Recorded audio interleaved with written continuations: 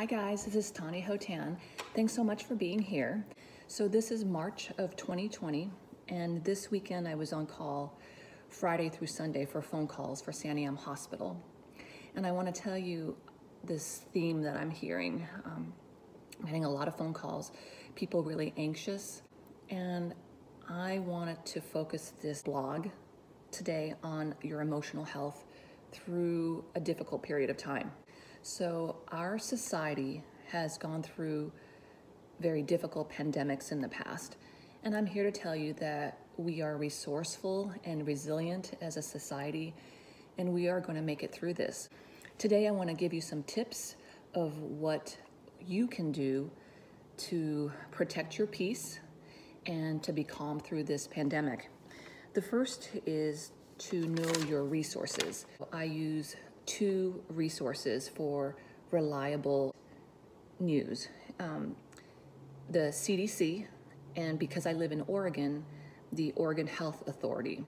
One of the tools that I use often are some breathing exercises. Simple three cleansing breaths that you can do anywhere that you go.